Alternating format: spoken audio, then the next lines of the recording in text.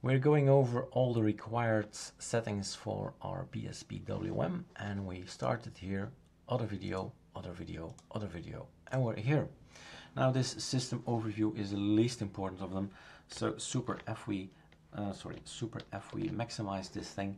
So we have for here this um, conky that's really not needed and this is variety kicking in never chose a while wallpaper it just chooses it from desktoppr.co which is awesome but this is what we need for first user of BSPWM so if you say hey uh, I know all the shortcuts now but, uh, out of my head so I don't need it anymore then it's fine. Then you just say in auto start I don't want it anymore and that's here. That's in the conky so there's no need actually to change anything unless you say, hey, I like this conky and I want to change this and that and that.